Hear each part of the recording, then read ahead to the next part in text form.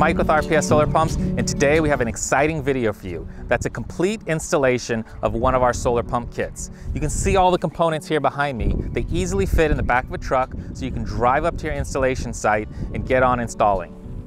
Here we have our pump, we have our solar panels, and we have our turnkey kit. Now we have a complete video about the turnkey kit, but it comes with our solar panel mount, our pipe, our wire, and basically everything else you're gonna need for the installation. All you need to supply is the mounting pipe for the panels, concrete to mount that pipe, and a grounding rod. You also get our complete 36 page instruction manual outlining this complete installation process. We're gonna be referencing this today as we go along, but if you need to out in the field, you have this as a great resource in order to install and troubleshoot if you need to do any troubleshooting along the way. Let's go ahead, unbox some of this, and I'll go over some of the major components coming with this system. One of the greatest things about this system is it's shipped right to your door in around three to five days. So you don't have to wait a long time in order to start your installation. Here we have our solar pump box. It has our pump, controller, and some of our accessories in it. Let's go ahead and take a look on what you're getting in this box. First thing we have is our 36 page color user manual.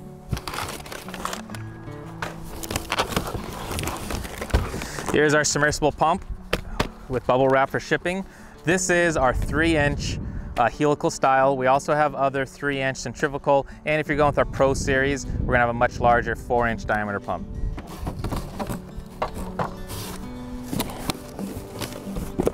Our controller, which takes the solar power and drives the pumps located in here.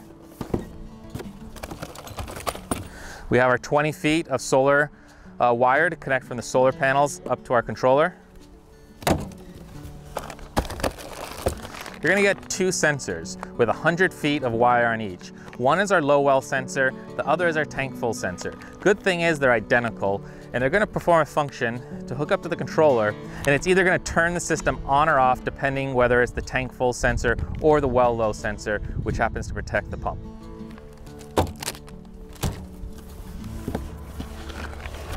We have a stainless steel hose barb along with our hose clamps. This comes in 3 quarter inch standard, but if you need to do 1 inch poly pipe, we can swap it out for a 1 inch barb. We have our splice kit. Our splice kit's going to waterproof our connections when we connect our pump, which has around eight feet of wire, up to our drop wire, which is contained in our turnkey kit. This makes a nice waterproof connection and it's adhesive line. So as we heat it, and you'll see this later, the adhesive is gonna flow out of the shrink tubing and it's gonna seal up that splice connection. We have our spare pumping mechanism. If you're getting a helical pump, there is a spare pumping mechanism. This pump is one of the only pumps that's field repairable, and in case you ever wear it out due to a degraded well, like you're pumping sand or silt, or just after a long number of years of pumping, you may need to replace this pumping mechanism. You get a free one and we have a lifetime warranty on this. If you're using one of our centrifugal pumps, there are no wear parts, so you're not gonna need this. We also have adhesive line, shrink tubing, and crimps if you need to extend out either your tank full sensor or your well low sensor. That's a signal wire. We can use any gauge we need in order to extend it. A majority of the installations are gonna be fine with the 100 foot of wire included in the kit. We also have our mounting screws and our ground lug. This goes in the back of the controller. We'll also show you that during the installation, how to hook this up. Back behind me, we have our solar panels in our mount. The solar panels come shipped two per box. They're facing glass to glass. When you get these, you're gonna wanna inspect them, make sure there's no shipping damage. This contains all of the aluminum parts you're gonna need in order to mount our panels on either our two inch inside diameter post for our two panel mount or our four inch inside diameter post for our four panel and our eight panel mount. We're gonna open this up when we do the installation a little bit later. Our base solar pump kits come with the pump, controllers, accessories, and our solar panels. We want to provide our customers the most flexibility to decide whether they want to build, such as building their own mount, or whether they just want to purchase the rest of the components.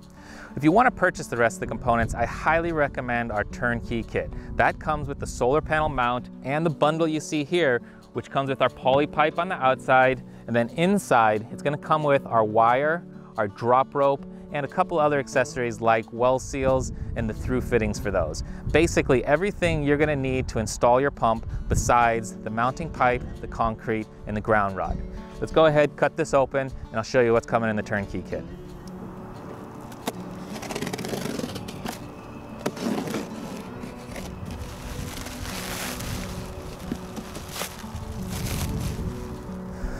So let's go ahead, get the box pulled out, and we'll show you what comes in the inner box of the turnkey kit, surrounded by our poly pipe.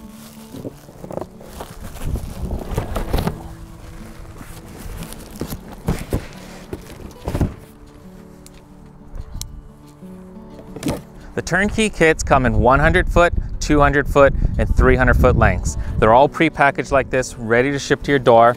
In this case, it's a 100 foot turnkey kit. So on the outside here, we have 100 foot of poly pipe. In this case, we're using a one inch, but we also have it in three quarter inch. Depending on your flow rates, we'll help you size whether you need to get a three quarter inch or one inch kit. And in here is our 100 foot of submersible pump wire. This is high quality pump wire, dual jacketed. It has an outside PVC jacket and an inside PVC jacket on each of the conductors to provide abrasion resistance so you're not gonna get any shorts in your well. We have a 100 foot of safety rope. We do recommend installing safety rope in case we have an issue with our poly pipe, which is gonna give us something else to pull the pump out.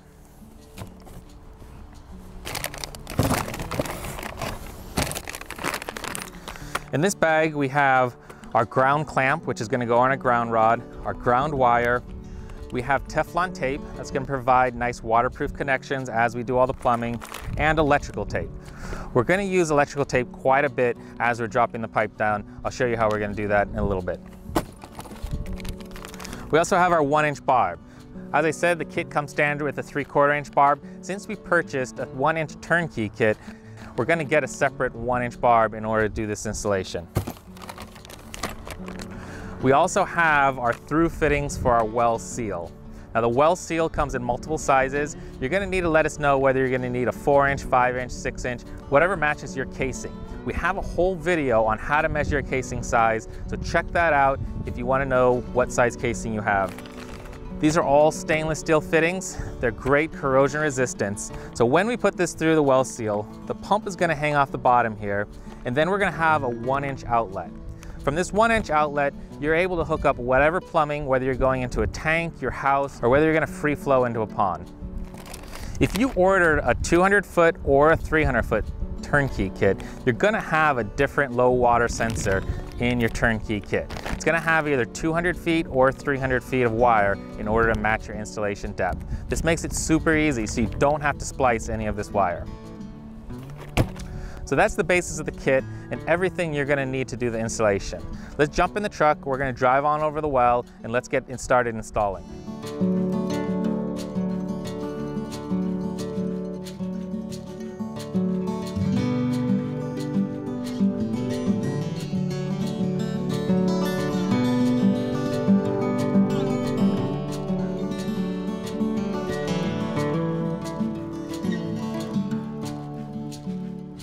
So we're out here on our well site. Let's go over the tools you're gonna need for the installation, along with some site work you could do ahead of time to make install day go much smoother. Brought our toolbox. First of all, you're gonna need a set of wrenches or an adjustable wrench. This is gonna be for all of the bolts on doing our solar panel mount. A pair of electrical pliers are gonna come in really handy today. These are multi-feature.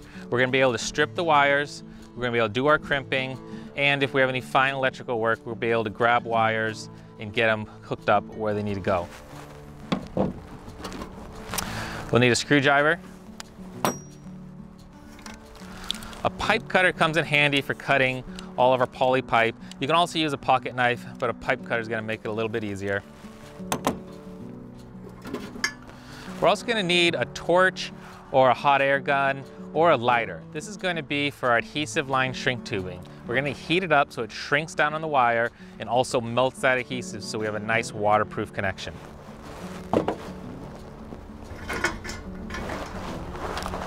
If you have a multimeter, it's gonna be best to bring it out. While you're not gonna need it for a standard installation, if you run into any troubleshooting, it's gonna make it much easier so you can determine where the power is going and where your problem lies with your setup. Finally, a shovel. This is gonna be used for digging the hole for our post in order to mount our mounting pipe.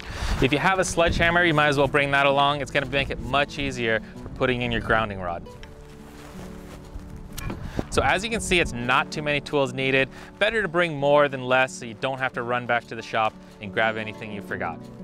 Now let's go quick over site planning. So we're out here in our well site. We picked a nice sunny area. Now the sun is gonna come in from the south, which in our case is this direction. So while we do have trees behind us, those trees are not gonna affect us because they're not located to the south. So we're gonna wanna mount our pipe for our solar panels in a nice sunny location. We don't want any small shadows. We don't want any uh, tree branches, anything hanging over it that's gonna obstruct the panels. We have a whole video about shadows and how they affect the power output of your panels. You might not believe it, but even a small shadow can cause a significant power drop and that is gonna affect your water output. So if you have a bunch of big trees, time to get out the chainsaw, fire it up, and cut some limbs so we have nice, clean sun. To make the installation day go much smoother, it's gonna be nice if you can come out the day before and get your solar panel pipe mounted into the ground. You're gonna wanna dig around a 30 inch deep hole and use at least three bags of concrete for your solar panel mounting post. You see this one here, might look a little strange. This is actually our portable mount. We move it around to all of our different test setups. You're gonna wanna mount yours permanently in the ground, so it's gonna look a little bit different. We're gonna break this installation into four simple steps. Step one, we're gonna do the splicing of the drop wire and the plumbing connections to our solar pump. Step two, we're gonna mount our solar panels onto our post. Step three, we're gonna wire up our controller. And step four, we're gonna turn on the system, see how it runs, and do some testing to make sure everything's operating correctly. Let's jump in. I'm gonna show you how to do the plumbing connections and the splice to your submersible pump. First thing we're gonna do is we're gonna take our poly pipe out of the blue packaging. We're also gonna get our drop wire out and we're gonna extend it out in this field. Part of that it's gonna allow uh, the pipe to heat up. The pipe's a little bit easier to handle when it's warmed by the sun. If you don't have a sunny day, that's all right. You can still handle it while it's uh, rigid. But if we get it laid out, it's gonna help get some of the coils out of there, get it straighter, uh, much easier to drop down our well casing. So let me go ahead, I'm gonna get this laid out. Once I have it laid out, we're gonna jump back over here. I'm gonna pull out the submersible pump. We're gonna do our splice and our plumbing connection to that pump.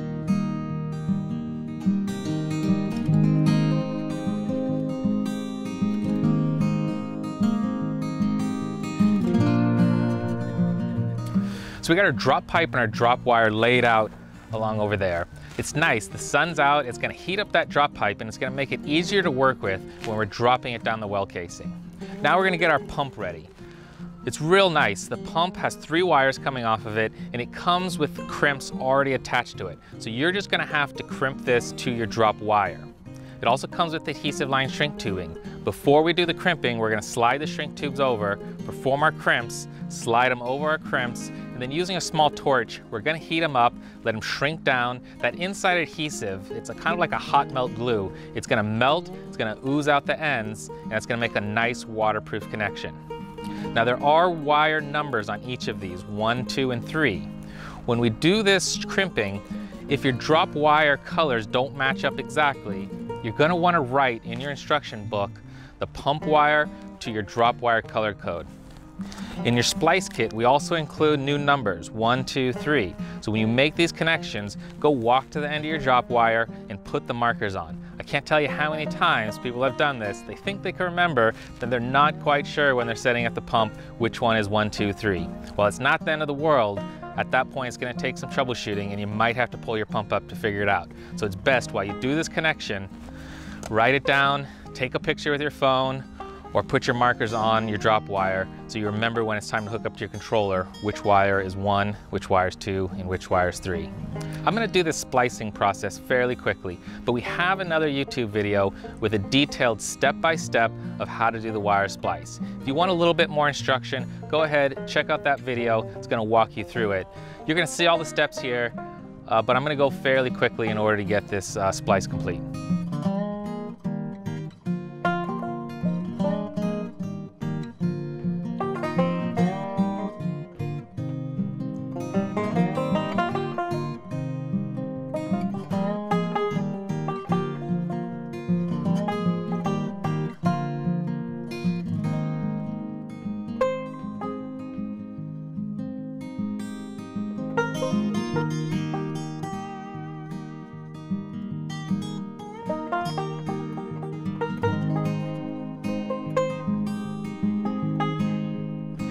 So let's now move on to doing our plumbing. The basics are we're gonna take our barb, put it into the end of the pump, and attach our poly pipe.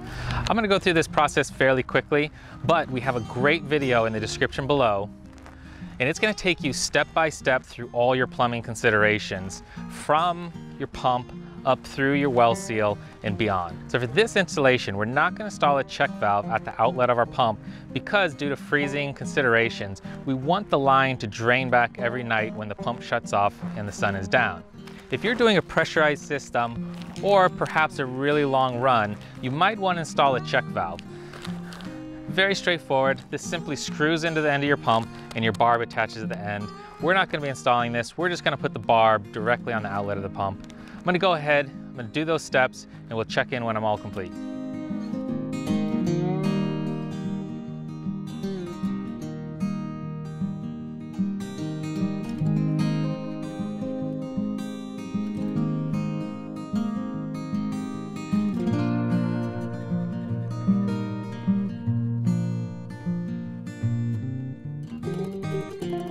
So you can see the plumbing was a very simple step. We used Teflon tape to seal our threads. A couple of wraps is fine. That's gonna help uh, prevent any leaking out of that connection and make sure it's nice and secure. So you're gonna notice at the very end, we used electrical tape and we wrapped up our clamps that hold the pipe to the bar. Now that's an important step. When we later on tape this wire up above, we don't want the wire rubbing against the sharp edges of the hose clamps, causing a short or cut in our wires. It's gonna provide some nice protection for the wire so you don't run into any issues over the year's operation. So at this point, you have two options. One is we can go ahead and drop our pump down our well without our solar panel set up.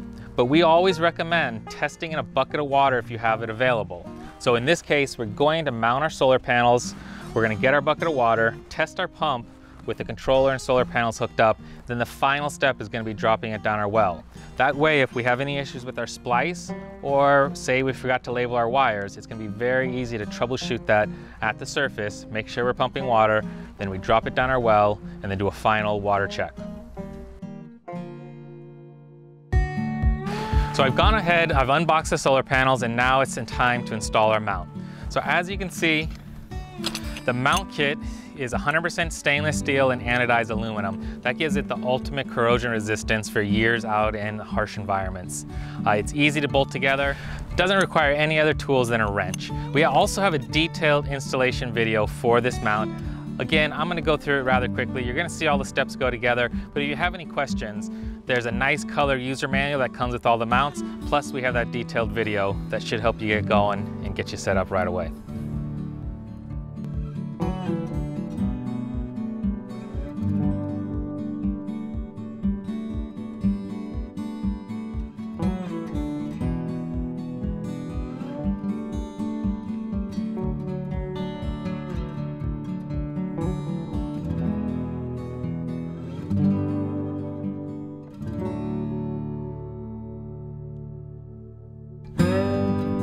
Our solar panels are mounted on our top of pole solar panel mount. I went ahead, pulled out a controller, and you're gonna see on the back of your controller, there's four screws.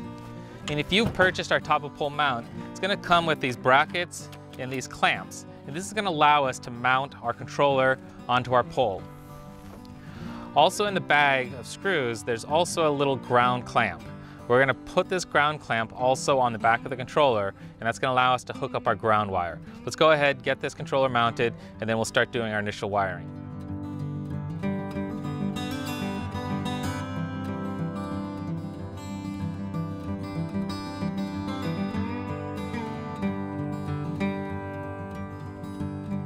So we have our controller mounted onto our pole, and I went ahead and pulled off the door uh, it's convenient if you want to put your door up on top of here, it'll kind of sit, sit in place while we do all the wiring.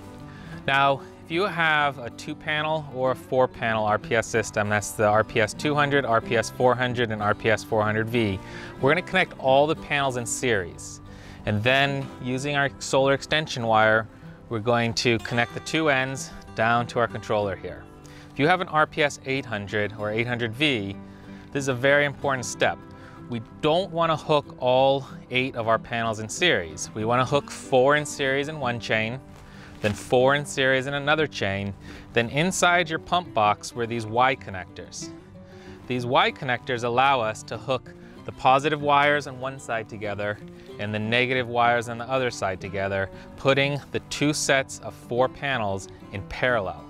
Then off of these Y connectors, we can use our solar extension wire and come down and plug it into our controller. If you hook up more than four of our 100 watt panels in series, you're very likely gonna damage the controller. If you're using your own large panels, then you wanna be very careful. A lot of larger panels are higher voltage in the 40 to 45 volt output range. That means on those panels, very likely you're gonna be able to put a maximum of two in series and then the rest of those are gonna be in parallel. If you have any questions about it, there's large panel sizing in the user manual, or if you're still unsure, give us a call, send us a picture of the data plate on the back of the panel, and we'll tell you how to configure the solar panels. There's nothing worse than getting out of the field and burning up a controller and having to swap it out for a new one. In this case, we have an RPS 400 with four panels. I'm gonna connect all the panels in series. I'm gonna grab our solar extension wire and run it down into our controller. I'm gonna hook most of it up. I'm not gonna hook this part up until we have our pump wires connected. Then I'll do a final plug-in and we'll do a test in our bucket. Let me go ahead and get that set up.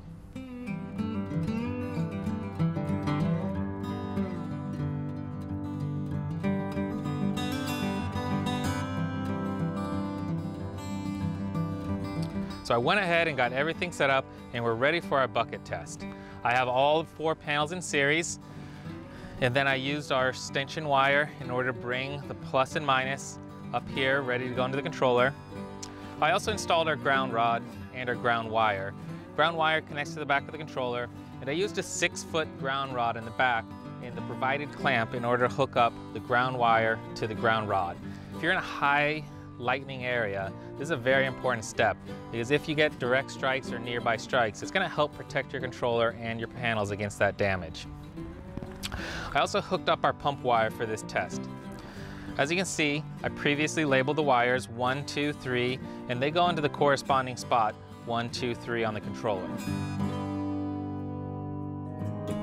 Now, I'm ready to plug in my controller and run the test. Now, we don't have our low well sensor hooked up. And so we are gonna have to put a little jumper in here in order to override it. If you don't have a little jumper, you can go ahead, hook your low well sensor in here and put it in the bucket in order to get the pump to run. Because we have low water protection, uh, it is gonna require either a small jumper across COM1 and WH or that the sensor is submerged in the bucket.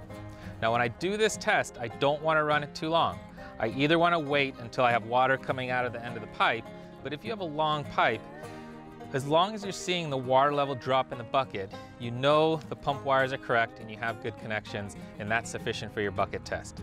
So let me go ahead, I'm gonna plug this in, I'm gonna hook up my low water override and I'm gonna fire it up and see if it's running the right way.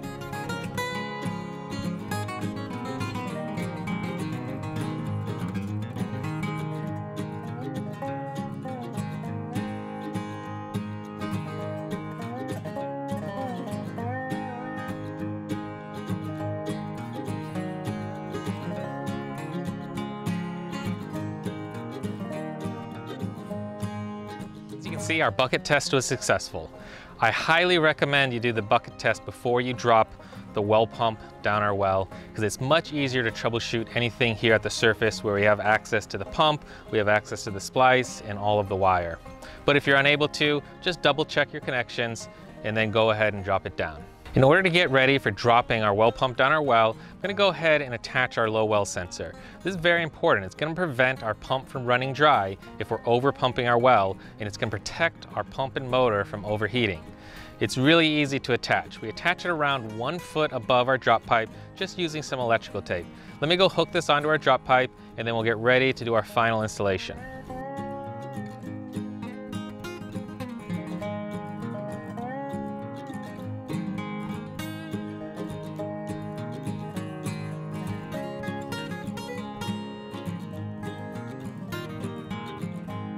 Great thing about our system is in addition to the low well sensor, we also have inputs for a tank full sensor. This can go into a tank, a horse trough, or wherever you're pumping your water.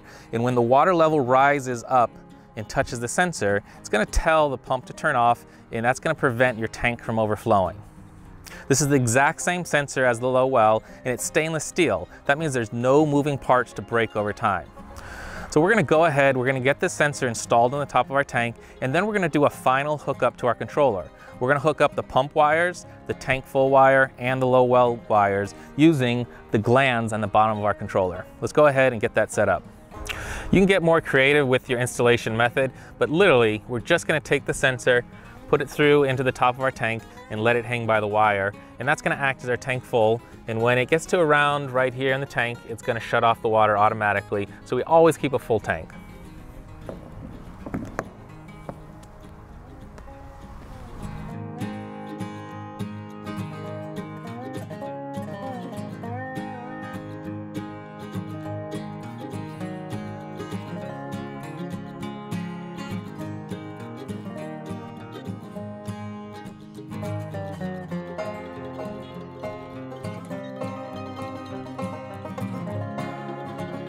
So we're ready to drop our well pump down our well, and there's two ways we can do this. If you're installing by yourself, I recommend we stretch out the drop pipe and you pre-tape the wire and the low well sensor every 10 to 20 feet along your drop pipe, leaving some slack in between. That's important because poly pipe is going to stretch around 1%. So that means over a 100 foot drop, it might stretch around one foot or so. So we want to make sure there's a little extra wire slack there. And so if the poly pipe stretches, we're not pulling on our wire and we're not pulling on our splice. If you're installing with multiple people, you can do the taping while you're dropping the pump down the well. One person can lower it around 10 to 20 feet, and the second person can do the taping, allowing that slack in the wire. Since I'm doing it by myself, I'm gonna stretch it out here, I'm gonna pre-tape everything, it's gonna make it much easier to drop down the well.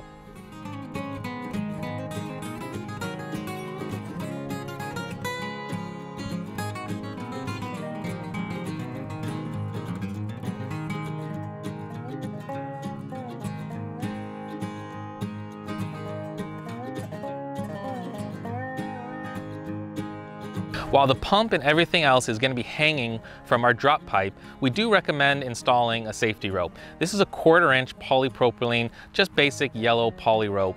We're going to tie this to the top of our pump and tie it off at the top. And if our drop pipe ever breaks, it's going to give us something else to pull on in order to get the system out.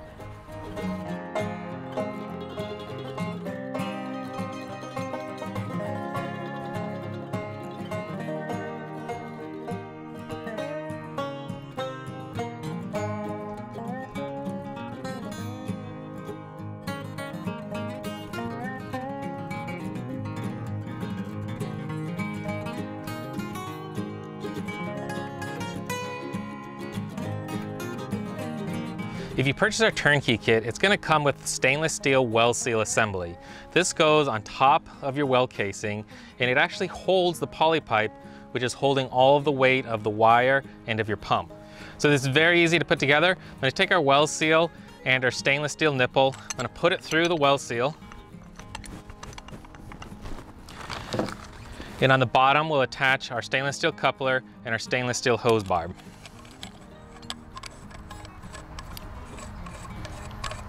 Now you're gonna wanna use Teflon tape on all of these joints and tighten it all down so it's nice and watertight.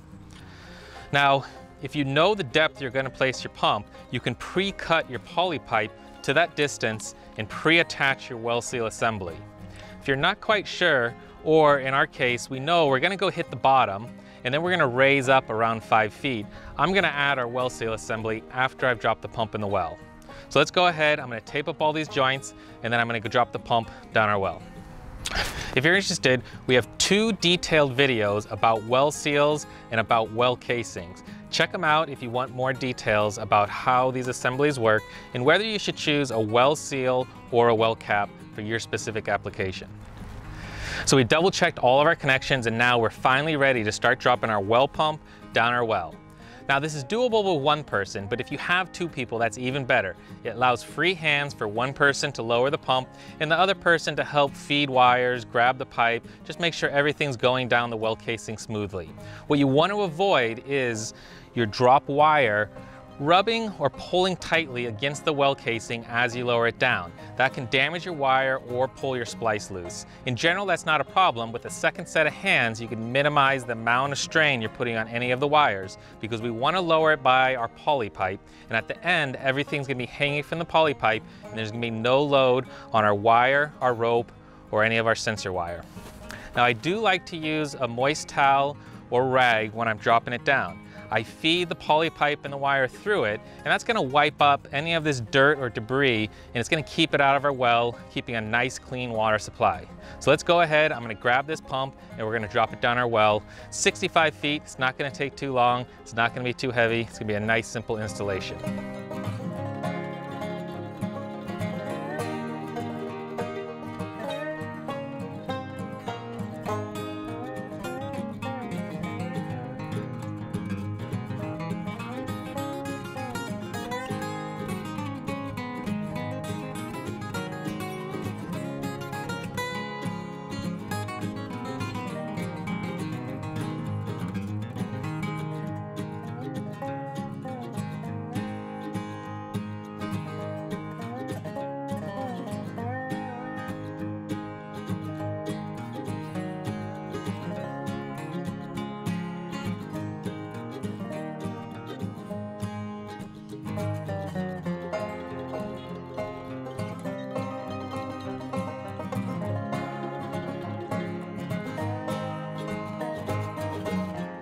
So we've gone ahead, we've dropped our pump, it's down at the bottom of the well. Now we don't want to leave it at the bottom of the well, we're going to want to raise it around five feet off the bottom, even more if you have plenty of water in your water column, and that's going to allow any sand or silt or any other debris to settle down below your pump and so you're not constantly sucking it up and possibly wearing out your pump or putting that into your water supply.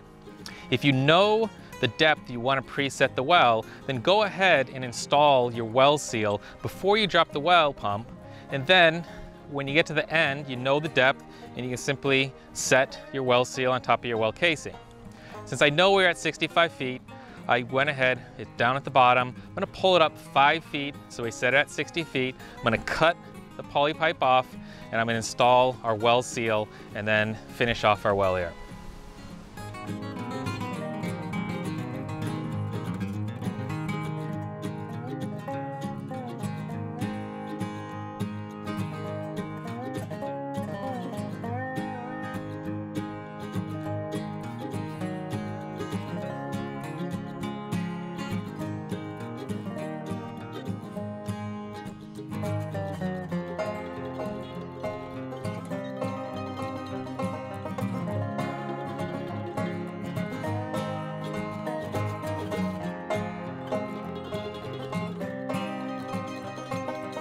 Let's talk a little bit about wire management. Most likely, if it's a very short distance, you're gonna be able to get away with some flexible conduit in order to run your pump wire and your low well sensor through and up over to your controller. If you're going a longer distance, then you're gonna wanna either direct burial your wires by digging a trench or install some conduit and pull your wire through the conduit over to your controller. You're also going to want to fence off this area if there's livestock in it. I can't tell you how many times we get a phone call that the livestock either broke into the fencing or there wasn't any fencing and they came in, chewed up the wires. It's not a big deal. You're going to have to do a little bit of repair and we can definitely get you sent out a replacement sensor if anything got damaged and you're not able to splice it. Now everything's hooked up. Let me go ahead. I'm going to fire up the controller and we're going to see if everything's working properly. power light turns on, then we're gonna get our pump light, and after a few seconds, we should start seeing water flowing from our well.